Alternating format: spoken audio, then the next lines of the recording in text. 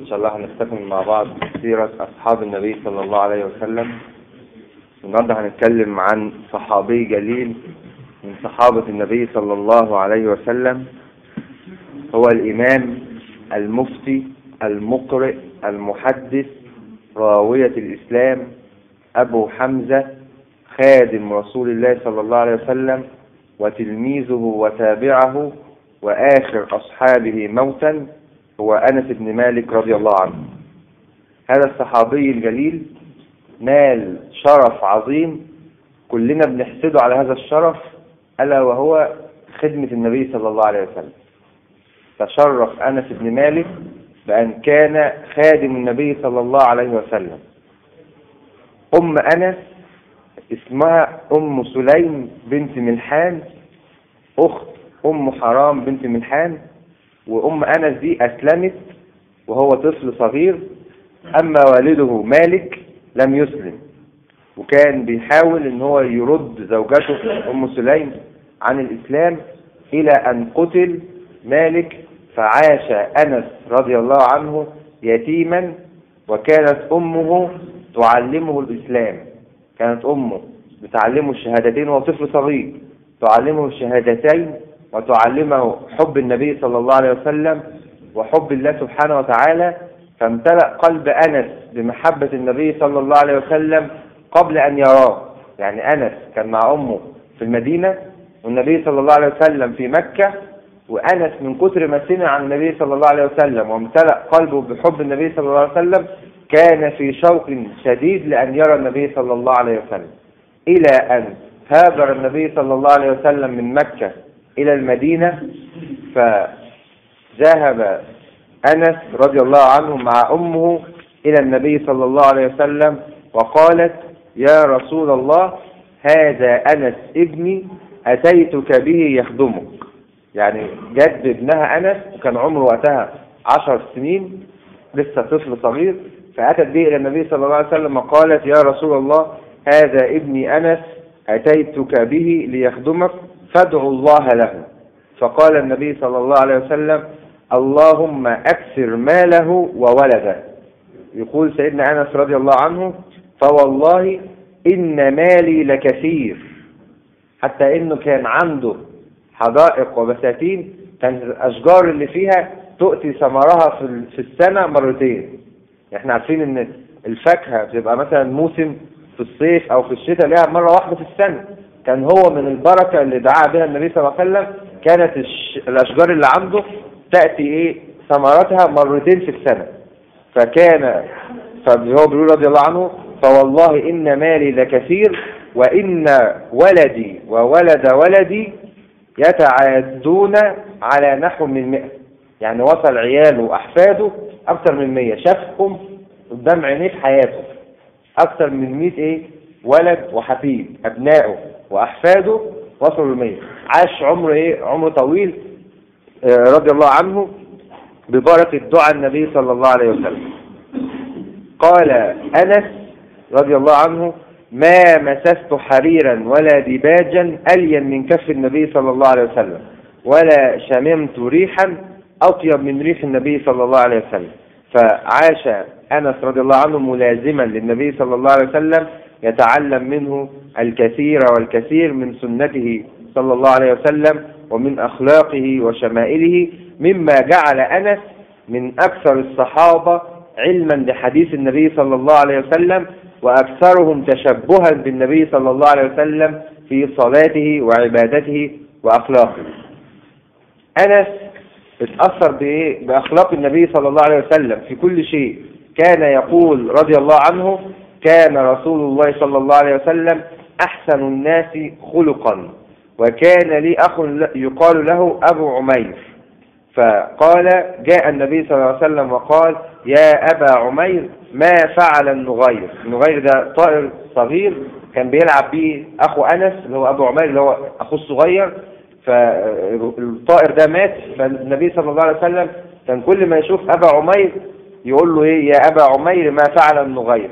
الحديث ده ناس بقى من الايه من العلمانيين ومن المستشرقين يقول لك يعني ليه بقى ال- الصحابة والعلماء ويكلفوا نفسهم ويتعبوا نفسهم ويكتبوا الحديث ده في كتب السيرة؟ يعني إيه النبي صلى الله عليه وسلم شاف عيل قال له يا أبا عمير ما فعل ابن غير؟ فكأنهم بيقولوا إيه يعني معنى كلامه يعني إيه التفاهة اللي أنتوا فيها دي؟ إيه إيه معنى الكلام ده؟ فطلع منه العلماء من الحديث ده أكثر من 100 فائدة. من بس قول النبي صلى الله عليه وسلم يا أبا عمير ما فعل ابن غير. قالوا منها أدب النبي صلى الله عليه وسلم وحسن تعامله مع الأطفال إن هو ما كانش إيه لا يضرب ولا يشتم ولا يز... لا كان بيكلمهم بأدب وإيه وحسن معاملة. است- خرجوا برضو من الحديث ده بإن إيه يجوز إن إحنا نكني الأطفال يبقى ليه كنية. يعني هو الواد ما اسموش أبا عمير ليه اسم؟ ولكن كأنه بيدلعه يقول له أبا عمير مش يدلعه إيه توتو وسوسو والكلام ده لا. بيدلعه باسم. لما يكبر يبقى فخور بيه بالاسم ده. فكان يقول له إيه؟ يا أبا عمير. فمنها برضو إن النبي صلى الله عليه وسلم كان بيدخل السرور على الأطفال. منها حاجات كتيرة العلماء طلعوا أكثر من 100 فائدة من هذا الحديث ردا على الإيه؟ على المستشرقين والذين يطعنون في سيرة النبي صلى الله عليه وسلم. وقال أنس رضي الله عنه والله لقد خادمته تسع سنين. يعني عاش مع النبي صلى الله عليه وسلم تسع سنين ما علمته قال لشيء صنعته لما فعلت كذا؟ أو لشيء تركته هلا فعلت كذا. يعني بيقول ما عمرش ما عمرش النبي صلى الله عليه وسلم في مرة قال لي عملت كده ليه؟ أو ما عملتش كده ليه؟ يعني كأن النبي صلى الله عليه وسلم لم يوبخه في مرة من المرات ولم يؤنبه في أي فعل من الإيه؟ من الأفعال.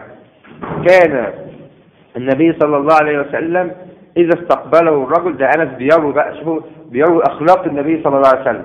كان النبي صلى الله عليه وسلم إذا استقبله الرجل فصافحه لا ينزع يده من يده. يعني النبي صلى الله عليه وسلم لما يسلم على حد ما يشدش إيده من إيده يفضل سايب إيده في إيد اللي إيه؟ اللي بيسلم عليه حتى يكون الرجل ينزع يده. يعني لما يسلم كده يفضل النبي صلى الله عليه وسلم سايب إيده في إيد صاحبه لحد ما هو اللي إيه؟ اللي يسيب من أدب النبي صلى الله عليه وسلم ومن أخلاقه. ولا يصرف وجهه عن وجهه حتى يكون الرجل هو من يصرفه. يعني يفضل برضه باصص له وشه في وشه لحد ما الراجل هو اللي إيه؟ اللي يصرف وجهه وي- وينصرف. ولم يرى مقدما ركبتيه بين يدي جليس له قط. يعني مفيش في مرة جاله حد وإيه؟ ولقاه كده جه مدد رجله قدامه النبي صلى الله عليه وسلم. ده سيدنا أنس بيوصف أخلاق النبي صلى الله عليه وسلم اللي هو عاش وتربى في إيه؟ في بيت النبي صلى الله عليه وسلم وشافها وعاشها. قال رضي الله عنه ما سئل رسول الله صلى الله عليه وسلم شيئا إلا أعطاه. قال فجاءه رجل فأعطاه غنما بين جبلين فرجع إلى قومه فقال يا قوم أسلموا فإن محمدا يعطي عطاء من لا يخشى الفقر. شوفوا أنا متأثر بأخلاق النبي صلى الله عليه وسلم وده أفضل أسلوب في؟ في التربية إن أنت عايز تربي واحد على ال- الكرم على الصدق على الأخلاق على المعاملة على الحاجات دي كلها إن أنت تتعامل بالأعمال دي قدامه. ما يبقاش يقول له إيه ما تشربش سجاير وهو بيشرب سجاير. ما يبقاش يقول له ما تكذبش وهو بيكذب. صح؟ ما يبقاش إيه بتعلم ابنك كلام عنده صراع داخلي عند الطفل كده. صراع بين الكلام اللي بيسمعه وبين اللي شايفه. بيسمع كلام أبوه يقول له ما تكذبش. وفي نفس الوقت أبوه يقول له مين اللي بيخبط؟ يقول له أبويا مش هنا. يبقى عنده إيه صراع داخلي بين بين يصدق الأقوال ولا الأفعال. فسيدنا أنس كأن سيدنا أنس بينقل لنا صورة للتربية. النبي صلى الله عليه وسلم رباه بالواقع ده إن كان لما يجي يسلم على حد هو بيوصف اللي هو شايفه. كان بيسلم كده كان بي- بيتصدق بالطريقة الفلانية كان بيتعامل بالأخلاق الفلانية. فدي أفضل طريقة في التربية اللي أثرت في أنس بن مالك رضي الله عنه. قال كان رسول الله صلى الله عليه وسلم أحسن الناس وجها وأجود الناس وأشجع الناس ولقد فزع أهل المدينة ذات ليلة فانطلق ناس من قبل الصوت فتلقاهم رسول الله صلى الله عليه وسلم راجعا وقد سبقاه من الصوت وهو يقول لم تراعوا لم تراعوا. يعني أنس بيقول النبي صلى الله عليه وسلم كمان بقى مش مش الكرم والأخلاق بس كمان كان من أشجع الناس. فبيقول إن في في يوم سمعوا صوت شديد كأن حاجة هبدت. فالناس طلعت مفزوعة تشوف إيه الصوت ده؟ فطالعين كلهم ناحية الصوت شافوا النبي صلى الله عليه وسلم راجع يعني كأنه كان أول واحد سبقهم. وراح وشاف إيه الموضوع وراجع وقال إيه لم تراع ولم تراع يعني ما تقلقوش مفيش حاجة إيه حصل فكأن النبي صلى الله عليه وسلم كان أشجع الناس وأسبقهم إلى إيه إلى هذا الصوت. برضو قال أنس بن مالك رضي الله عنه جاء رجل إلى النبي صلى الله عليه وسلم فسأله متى الساعة؟ فقال النبي صلى الله عليه وسلم ما أعددت لها؟ قال ما أعددت لها من كثير صلاة ولا صيام ولا صدقة. ولكني أحب الله ورسوله الراجل تسأل النبي صلى الله عليه وسلم القيامة إمتى؟ فالنبي صلى الله عليه وسلم قال له أنت أعددت إيه ليوم القيامة؟ قال له والله لا صيام ولا صلاة ولا حاجات كتيرة بس أنا بحب الله ورسوله فنفسي القيامة تقوم عشان أحشر مع النبي صلى الله عليه وسلم وعشان أشوف ربنا شوفوا من شدة حبه لله ورسوله نفسه إن القيامة تقوم فقال له النبي صلى الله عليه وسلم أنت مع من أحببت إذا كنت فعلا صادق في حبك للنبي صلى الله عليه وسلم في حبك لله ورسوله فأنت مع النبي صلى الله عليه وسلم. حبك ده هيكون سبب في أن تحشر مع النبي صلى الله عليه وسلم. وإحنا قبل كده اتكلمنا في الخطبة عن إيه؟ عن محبة النبي صلى الله عليه وسلم وعن علاماتها. إزاي الواحد يعرف نفسه إذا كان فعلا محب للنبي صلى الله عليه وسلم ولا لأ؟ فقال أنس فما فرحنا بشيء فرحنا بقول النبي صلى الله عليه وسلم أنت مع من أحببت فأنا أحب النبي صلى الله عليه وسلم وأبو بكر وعمر وأرجو أن أكون معهم بحب إياهم وإن لم أعمل بمثل أعمالهم ونحن نشهد الله أننا نحب النبي صلى الله عليه وسلم وأبو بكر وعمر وأصحابه وأنس رضي الله عنه وجميع صحابة النبي صلى الله عليه وسلم. برضو من أخلاق بقى سيدنا أنس رضي الله عنه كان بيقول إيه؟ أتى النبي صلى الله عليه وسلم وأنا ألعب مع الغلمان فسلم علي فبعثني إلى حاجة فأبطأت على أمي. فلما جئت قالت ما حبسك؟ قلت بعثني رسول الله صلى الله عليه وسلم لحاجة. يعني النبي صلى الله عليه وسلم بعثه في إيه في مشوار فتأخر على أمه فبتسأله إيه اللي أخرك؟ فقال إيه؟ بعثني النبي صلى الله عليه وسلم لحاجة. قالت فما حاجته؟ كان عايز منك إيه النبي صلى الله عليه وسلم؟ فقال لها إنه سر. فقالت لا تحدثن بسر رسول الله صلى الله عليه وسلم أحدا. يعني ده إذا كان ده سر فعلا حافظ على إيه؟ على هذا السر. فكان أنس كأنه كاتم سر النبي صلى الله عليه وسلم حافظ أسرار النبي صلى الله عليه وسلم. برضو عن أنس رضي الله عنه أنه دخل على أمه اللي هي أم سليم أن النبي صلى الله عليه وسلم دخل على إيه؟ أنس وأم سليم فأتت بتمر وسمن. فقال النبي صلى الله عليه وسلم أعيدوا تمركم في وعائكم وسمنكم في سقائكم فإني صائم. يعني كأنها جوز أكل فالنبي صلى الله عليه وسلم قال إيه؟ إني صائم ثم قام فصلى وصلى بهم صلاة غير مكتوبة. يعني صلى إيه؟ نافلة. ثم دعا لأم سليم وأهل بيتها فقالت يا رسول الله إن لي خويصة. يعني لي عندك طلب؟ فقال وما هو؟ قالت خادمك أنس. فما ترك النبي صلى الله عليه وسلم خيرا من خير الدنيا والآخرة إلا ودعا به لأنس رضي الله عنه ثم قال اللهم ارزقه مالا وولدا وبارك له فيه.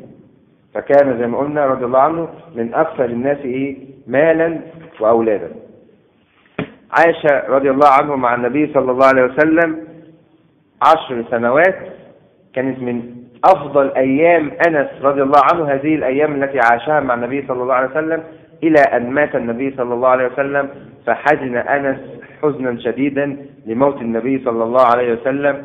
كان يقول رضي الله عنه لما كان اليوم الذي دخل فيه النبي صلى الله عليه وسلم المدينة أضاء منها كل شيء. يعني النبي صلى الله عليه وسلم دخل المدينة بقت فعلا المدينة المنورة أضاء منها كل شيء. فلما كان اليوم الذي مات فيه أظلم فيها كل شيء وما نفضنا عن النبي صلى الله عليه وسلم الأيدي حتى أنكر أنكرنا قلوبنا. يعني بيقول إن حضر هو حضر اليومين دول اليوم اللي دخل فيه النبي صلى الله عليه وسلم المدينة فشاف إن كل شيء كان منور. واليوم اللي توفي فيه النبي صلى الله عليه وسلم كأن الدنيا كلها أظلمت بوفاة النبي صلى الله عليه وسلم وبيقول فما نصبنا التراب على النبي صلى الله عليه وسلم حتى أنكرنا قلوبنا. يعني كأن قلوبنا اتغيرت. بدأنا كده إيه؟ نختلط بالدنيا بعد ما توفي النبي صلى الله عليه وسلم. عاش أنس رضي الله عنه بعد وفاة النبي صلى الله عليه وسلم أكثر من 80 سنة. يعني 80 سنة. النبي صلى الله عليه وسلم مات سنة 10 هجريا. كان أنس عنده كام سنة وقتها؟ 19 سنة. آه و80 99 سنة. يعني دخل على 100 100 سنة. عاش خلالها أنس رضي الله عنها يملأ الأرض علما من علم النبي صلى الله عليه وسلم أحيا فيها القلوب بما بثه بين الصحابة والتابعين من هدي النبي صلى الله عليه وسلم. عاش أنس هذا العمر الطويل مرجعا للمسلمين يفزعون إليه كلما أشكل عليهم أمر ويعولون عليه كلما استغلق على أفهامهم حكم. وكثيرا ما كان يقول لقد رأيت النبي صلى الله عليه وسلم يوم دخل علينا ورأيته يوم قبض منا فلم أرى يومين يشبهانهما. يعني ما فيش يومين عدوا عليا زي اليومين دول. وقال أبو هريرة رضي الله عنه ما رأيت أحدا أشبه بصلاة النبي صلى الله عليه وسلم من أنس رضي الله عنه. وكان أنس رضي الله عنه يقول ما من ليلة إلا وأنا أرى فيها حبيبي صلى الله عليه وسلم. ثم يبكي رضي الله عنه. ما فيش ليلة إلا وكان يرى فيها النبي صلى الله عليه وسلم. ده طبعا من إيه؟ من شدة حبه وتعلقه بالنبي صلى الله عليه وسلم. الإنسان لما بيبقى متعلق بشيء وبيفكر فيه على طول كلنا كده مش حاجة غريبة يعني. الواحد لما بيفكر في أي شيء تلاقي إيه؟ ينام يحلم بيه. صح؟ لما يبقى كده مهموم بمشكلة مهموم بحاجة في عايز يعمل تلاقيه كده وهو نايم كأن المشكلة دي اتحلت كأنه شاف حاجة. المهم إن هو دايما الموضوع شاغل باله حتى عقله الباطن يجيبوا له في الإيه؟ في المنام. فده شاغل باله وشاغل عقله الظاهر والباطن بمين؟ بمحبة النبي صلى الله عليه وسلم. فكان لا ينام ليلة إلا ويرى فيها النبي صلى الله عليه وسلم وزي ما قلنا بعد حياة طويلة مليئة بالسعادة والسرور لصحابته لصحبة النبي صلى الله عليه وسلم توفي أنس رضي الله عنه وليلحق بالنبي صلى الله عليه وسلم بعد أن ملأ الدنيا كلها بحديث النبي صلى الله عليه وسلم فرضي الله عن أنس وعن سائر صحابة النبي صلى الله عليه وسلم. قولوا قولا استغفر الله